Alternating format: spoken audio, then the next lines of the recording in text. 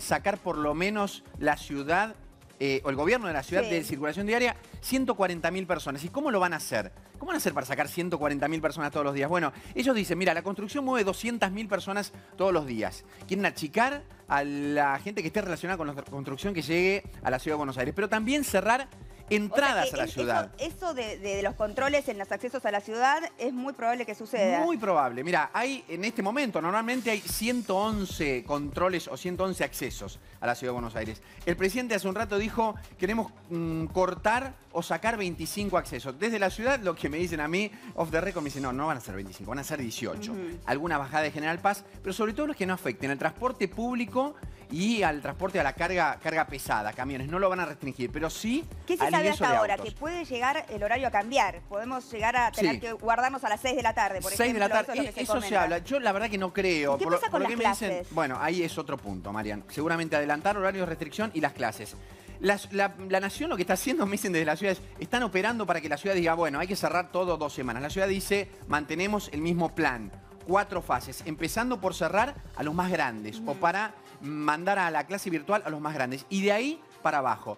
¿Quiere la ciudad que los chicos más chicos, por lo menos de escuela primaria, siguen o sigan con la actividad presencial como hasta ahora, ¿no? Ellos Hubo están reunión, apostando o sea, fuerte. eh, ahora hay diálogo, ¿no? El gobierno nacional eh, se reunió con la ciudad, eh, Sí. más precisamente el presidente con Rodríguez Larreta, y no se, de, de las clases no se habló. De las clases no se habló, pero claro, hay como un diálogo. En segundas líneas, a vos te dicen desde la, la Nación, ¿no? Cuando este, hablas con el ministro Trota o con gente del entorno, él te dicen, sí, nosotros tenemos diálogo. Bueno, hablan con el jefe de gabinete de la Ciudad de Buenos Aires. Claro, no están hablando... Las segundas líneas. Segunda ¿no? línea, Sí. ni siquiera con la ministra de Educación, ni siquiera con el segundo de Educación. Pero claro, ahí están. Eh, Pero sabemos que mañana se vienen restricciones más fuertes, Seguro. seguro. Eso va a haber seguro. Porque todos están de acuerdo en algo, que es que hay que reducir la circulación porque el sistema sanitario está colapsado, Y- ¿no es cierto? Por lo menos Sí. saturado, no sé si decir colapsado, Y pero la sí base saturado. sobre la cual en este momento se están plantando, Marian, es, es buena, porque de alguna manera los contagios fueron 27.000, 25.000, en las últimas 24 horas 23.000, es decir,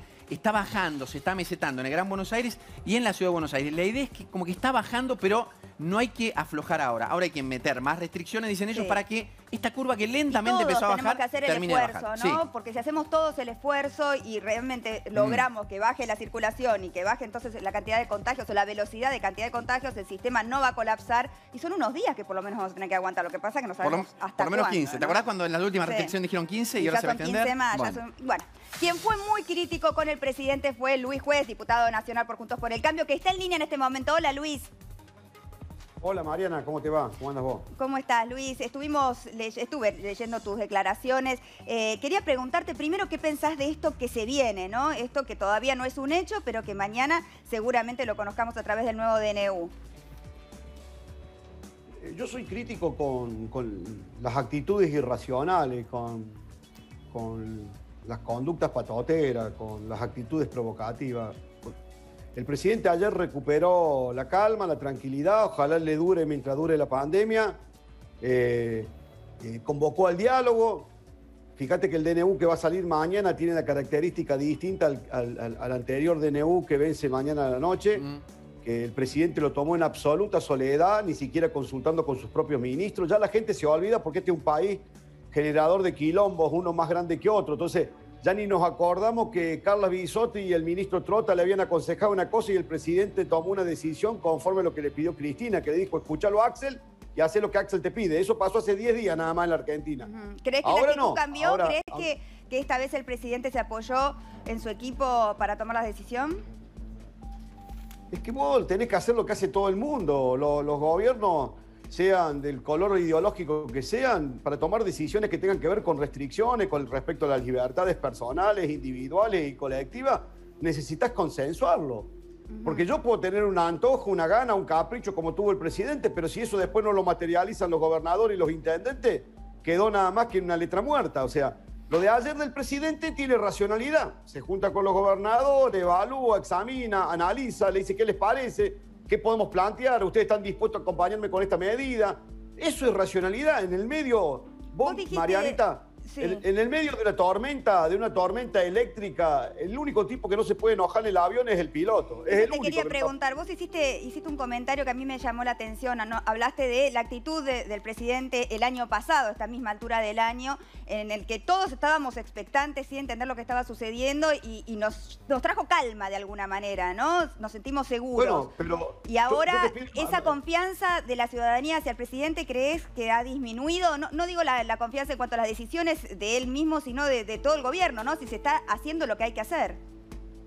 ¿Y tenés alguna duda de las dos preguntas que vos me formulaste? Yo te pido que vos me eh, hagas un, examen retrospectivo y te acuerdes cómo era tu estado de ánimo a pesar del miedo que teníamos todo en abril, el 29 de abril del año pasado. Pero cuando lo veías al presidente un día viernes en la televisión, vos parabas todo en tu casa, le decías a los chicos, no hagan lío, no hagan ruido, que quiero escuchar, porque sentíamos que había un tipo preocupado por todos nosotros. Pasó un año y esa sensación el presidente la fue horadando, él mismo se fue comiendo la credibilidad, prometiendo cosas que no iban a llegar, vacunas que no llegaron, negocios con laboratorios que no se hicieron, compras de vacunas, reparto de vacunas. Salieron mal los planes, hay que decirlo. El plan de vacunación, o sea, el plan original que tenía el gobierno era que ya a esta altura estuviéramos vacunados la mayoría. sí, hay, muchas. Luis, vos lo tenés claro esto, porque 22 millones y medio de, por ejemplo, de un laboratorio es el de AstraZeneca, que Argentina pagó el 60%. De, esa, de ese acuerdo no llegó ni una sola. Evidentemente, es, ahí te referís vos que va limando la confianza.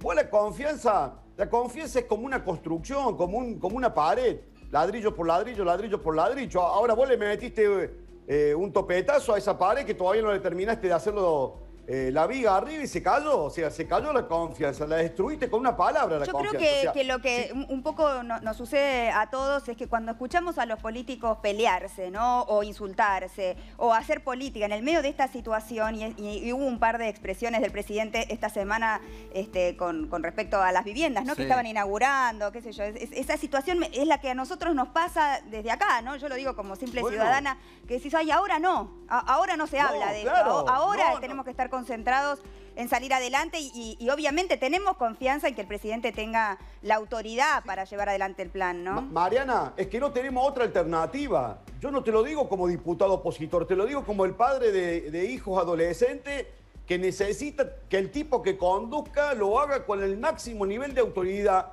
pero también con el máximo nivel de credibilidad. Yo no estoy queriendo Y esto también corre, perdón Luis, esto también corre para el gobierno de la ciudad, digo, ¿qué va a pasar con las clases, no? Si, si por corre ahí... para, para todo, Mariana, para todos los que tienen que tomar decisiones de gobierno, de los que depende la gente. Yo, yo soy un duro opositor al gobernador Schiaretti, pero las medidas que el gobernador en mi provincia anuncie, y si tienen racionalidad, lógica, y están acompañadas con, con con, el sentido común, ¿cómo no las voy a acompañar? Al contrario, yo le digo a mi gente, muchachos, estamos en mano, este es el gobernador, hay que cumplir a rajatabla Pero ¿sabés qué pasa, Luis? Mira, fíjate, mientras vos planteas esto y cuando Mariana te pregunta respecto de esta falta de credibilidad, ves, ayer o antes de ayer hubo 5.000 manifestantes de movimientos sociales en las calles, en la ciudad de Buenos Aires. Vienen de la provincia y entran a la ciudad de Buenos Aires. Entonces, y hoy hay un grupo grande, importante también. ¿Qué es lo que hay que hacer? Porque el gobierno nacional te dice, yo no voy a pagar el costo político para frenarlos antes de que entren a la capital. Y la ciudad te dice, yo tampoco los voy a sacar de la ciudad porque el costo político es para mí. ¿Qué haces en ese caso?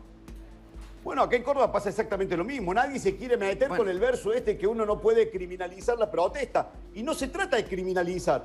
Se trata de establecer reglas de juego y las reglas de juego son para todos. Pero eso es un mal ejemplo. Si dejas eso es un mal ejemplo, si dejas hacer, es un mal ejemplo para quienes están cumpliendo las reglas. Claro. Pero, pero, yo no puede ser que vos estés por encima de la ley porque sos parte de un movimiento piquetero. Yo puedo asignarte todo el derecho al reclamo. Tenés razón, es justo lo que vos estás planteando. Ahora, yo también tengo el mismo derecho y sin embargo acato las disposiciones. Entonces, ahí donde vos tenés que construir la autoridad con los jefes, con los, que, con los que manejan las organizaciones, explicándole, diciendo, no se muevan, muchachos. Pero es un año de elecciones, Luis, vos, vos, sabés cómo son los años de elecciones, que juegan No, bueno, pero entonces estamos jodidos.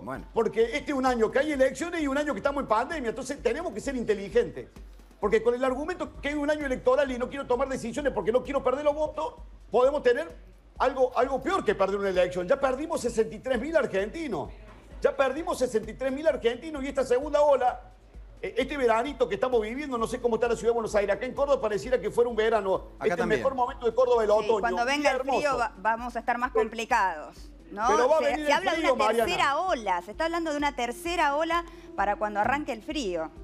Bueno, como va a venir el frío, como el frío eh, eh, eh, es realmente el que trae también infecciones respiratorias y toda esta cuestión, va a venir el invierno, entonces tenemos que ser inteligentes. Entonces yo espero, aspiro, y la verdad que me encantaría recuperar ese presidente de abril del año pasado, cauto, mesurado, tranquilo, donde nos hablaba todo, donde no se encolerizaba, donde no nos ofendía. Una actitud más paternal necesitamos, ¿no? No sé, no sé, porque hay gente que también... Martín, a ver, hay gente que cuando él se pone en esa actitud también dicen el presidente no es mi padre, eh, pero la realidad es que el país no está en el mismo momento que en abril del año pasado, Luis. El virus no está en el mismo momento, la situación epidemiológica. ¿Y no crees que él, en definitiva, el presidente, se, se jugó, digamos, eh, la decisión de, de cerrar todo esto que está siendo ahora acompañada también por la ciudad. Ahí él, digamos, de alguna manera fue detrás de un costo político y tomó la decisión de todos modos para cuidarnos. ¿No crees eso, Luis? Pero, pero, pero seamos inteligentes. Usemos el sentido común. Si tuvimos ocho meses guardados y terminamos con 63 mil muertos, hay que ser inteligente, aprender. Uno tiene que aprender. Dicen que la experiencia es un peine que te llega cuando te quedas pelado. Hagamos como hizo todo el mundo. Si tenemos en algún momento que tener una restricción absoluta, bueno, pero vayamos viendo, porque a la gente le hiciste aprender sobre el tema del virus, el distanciamiento social, el barbijo, los protocolos, a los comerciantes, al sector gastronómico, al sector hotelero en Córdoba, el tema de los aforos. La gente se, ha tomado un montón de precauciones y ante la menor medida lo primero que se te ocurre cerramos todo. Pará, seamos inteligentes porque no es la misma decisión. Mira, ¿qué, ¿qué, nos pasó el año pasado acá en Córdoba? Acá hubo pueblos completos que en cuatro o cinco meses no tuvieron un solo caso de COVID. Ahora el tratamiento era igual que si fuera la matanza. No se podían mover de su casa. Quebró la economía, se fundieron. Entonces tenemos que ser inteligentes. La experiencia que tuvimos del año pasado la tenemos que volcar para manejarlo con racionalidad. Así hizo Europa, así hizo Estados Unidos, así hicieron los países serios. Dijeron, esto lo podemos hacer y cuando vos ordenas una medida jodida, restrictiva, lo haces con... Hoy empieza y termina dentro de 10 días y, lo, bueno, pero eso es lo que te plantea Luis. Los análisis son absolutamente compartidos, transparentes. Que también están cerrando, ¿eh? Esto se tomó por esta decisión. lo que dice Martina, eh, tiene razón. Muchas veces las clases han cerrado en distintas partes del mundo, pero esto que vos decís, hacer una especie de disección quirúrgica, la Ciudad de Buenos Aires te decía, es una cosa lo que pasa acá respecto a las clases y es distinto a lo que pasa en el conurbano. Pero el gobierno cierra todo para no correr o no cargar el costo político que significa solamente cerrar la provincia de Buenos Aires y no la ciudad, o para no darle una buena a Rodríguez Larreta. Esto se dice. pero pasa, se medita eso. Pero yo, yo voy a salir de la grieta. Yo voy a salir de la grieta y la disputa estúpida porque no, no, no me gusta entrar. me voy a pelear en octubre cuando vengan las elecciones. Ahora no es el momento para pelearse. Ahora, si el problema lo tenés en el transporte público, yo me pregunto, ¿qué hicimos este año que pasó para mejorar el transporte público? ¿Cuántos vagones le sumamos a, las formaciones? ¿Cuántos, ¿Cuántos coches más pusimos en el subte? ¿Cuántos colectivos más le pedimos a las empresas? No hicimos nada. El único argumento que tuvimos después de 15 meses con el transporte público es que hay que viajar con la ventanilla abierta. Así no funcionan las cosas. Si vos no vas a tomar decisiones en los momentos que no tenés problema, conforme a lo que te pasó en momentos de crisis, después querés repetir la misma medicina y la gente se cansa. Entonces yo digo, tenemos que ser inteligentes, hay que actuar con mucha mesura, con mucha responsabilidad. La escuchaba Mariana recién este es un tema también individual, no es un problema colectivo. O sea, la responsabilidad se construye en tu casa, vos personalmente, con tus hijos, con tu familia, con tus vecinos. Y, y, eso se contagia. Necesitamos una sociedad responsable, pero también políticos responsables. Seguro, seguro. Eh, realmente lo, que sucede acá con la grieta eh, está eh, como profundizando, ¿no es cierto?, la, incertidumbre de la gente, porque a todos nos pasa que, en este momento no hay lugar para la política, realmente no hay lugar. Yo creo que el gobierno, si le hubiera salido el plan de vacunación, como, o sea, si hubieran llegado esas vacunas que no llegaron, hoy estaríamos en otra situación, ¿no? No estaríamos hablando de esto. Está llegando otro avión con vacunas desde China, partió otro vuelo Lo de AstraZeneca deberíamos tener cuántos millones. No, no, al, nivel, nivel, eh, debieron entrar dos millones este, el mes pasado y ahora tendríamos que tener cuatro millones y no llegó una sola dosis de esa. Es verdad que ahora llegaron algunas chinas y la de la de Moscú. De todos modos. Pero nuestra gran inversión fue lo de AstraZeneca. pero ni cerca de lo que se prometió además. Viste que el gobierno además está como bajando los decibeles respecto a las promesas. El otro día se dijo, reactivamos el diálogo con Pfizer. Y le bajaron hagamos el tono. Un, hagamos, hagamos un ejercicio de memoria, chicos. A ver. Hagamos un ejercicio de memoria. O sea, nadie le pidió a Alberto Fernández que dijera que el 31 de diciembre iba a haber 10 millones de vacunados. Bueno. Nadie le pidió al presidente que prometiera a esta altura del año casi una inmunización de casi todos los sectores eh, imprescindibles que establece el DNU. Eh, ellos levantaron una vara, no la acompañaron con transparencia, con, con, la mano en el corazón y no quiero meter el dedo porque acá en Córdoba pasó enormemente. El tema del vacunatorio VIP. ¿Ustedes creen que fue nada más que el problema de Ginés González García? En todos lados vacunaron a los amigos, a los parientes, a las novias. Eso es terrible, eso, es indignante, realmente. Igual, menos mal que Luis no tenía ganas de, pelear hasta las elecciones porque se lo escucha hablando bastante enojado pero, Luis. Pero si no, Mariana, pero si no hacemos memoria, los pueblos, que no los pueblos que no tienen memoria repiten su historia. Hmm. Digamos las cosas como son, porque si no vamos a decir, che, llegamos acá porque la casualidad, si, si los contratos con los laboratorios, el presidente lo hubiese transparentado, todos hubiésemos ido a hablar con AstraZeneca, con los otros laboratorios, escondieron, no sé por qué barrieron la basura bajo la alfombra, no nos contaron nada. Ahora que se les prendió fuego. Pero es que parece. Luis, parece que hay una máxima de la política que la, dijo Menem hace mucho tiempo. Si yo hubiera dicho lo que iba a hacer, no me, no me hubiera votado nadie. No, bueno. Está bien. pero, si Alberto Fernández te decía, no, van a llegar vacunas, ¿qué pasaba en ese momento? Sí, pero me parece que se refiere más a, Pfizer, ¿no? Y cómo fueron esas negociaciones. Porque, escúchame, Mariana, cuando el gobierno le pidió a la oposición una ley para adquirir vacuna, en 24 horas todos los diputados opositores votamos la ley. Todos. y lo hicimos allá por julio del año pasado, para que el gobierno saliera inmediatamente a comprar vacunas y adquirir vacunas y a tomar relaciones. En vez de armar un gabinete multisectorial, multipartidario, para que le metemos toda la transparencia vida por haber, se cortaron solo.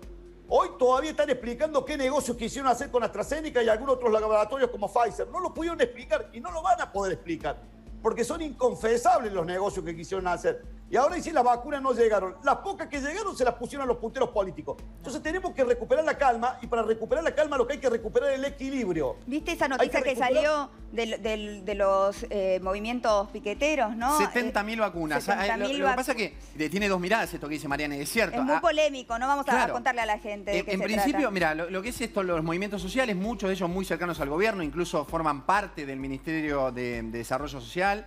Eh, pidieron vacunas para quiénes? Para 12.000 personas que están al frente de merenderos, comedores. Claro, que están expuestas. Lo cierto es que están muy expuestas y atendiendo a gente con necesidades también. Pero, a primera vista, ¿viste? Suena como polémico, raro. Suena polémico. Después, cuando, cuando uno lee la letra chica, dice, bueno, pará, están eh, cumpliendo una tarea esencial que es alimentar a un montón de gente. Pero bueno, son muchísimas dosis, 70 mil no, no, No, bueno, pero, pero Fabianita, Fabianita.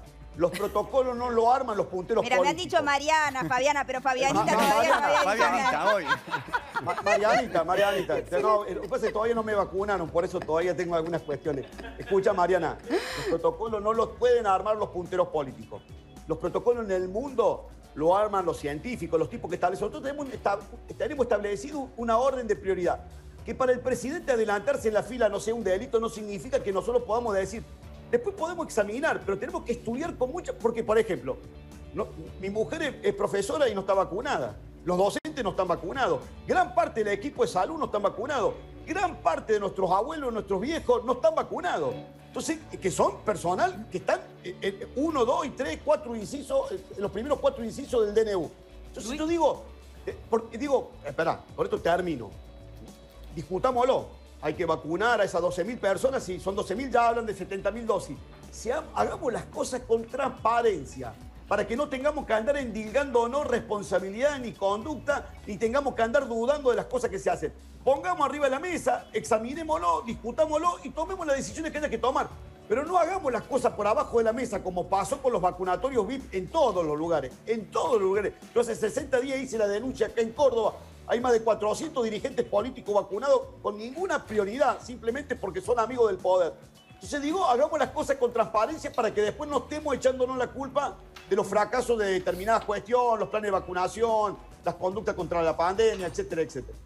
Eh, Luis, la verdad que lo que estás diciendo es muy interesante con respecto a la construcción de la confianza, ¿no? Eh, creo que, de eso se trata y que necesitamos más que nunca ponernos las pilas todos, estar unidos y cada uno hacer su parte, ¿no? Cada uno ser responsable para salir de esto adelante. Te espero almorzar acá uno de estos días, así que uh, cuando, cuando estés por acá, me encantaría tenerte aquí en la mesa. No, va a ser un placer, Mariana, va a ser un placer y me va a encantar poder hablar con vos, aparte tengo adoración, así que... Yo también a vos, muchas gracias, Luis. Pero a cuidarnos. A, cuidarnos. Entre todos. A cuidarnos. Un beso grande, gracias. Te mando un beso grande. Muchas gracias.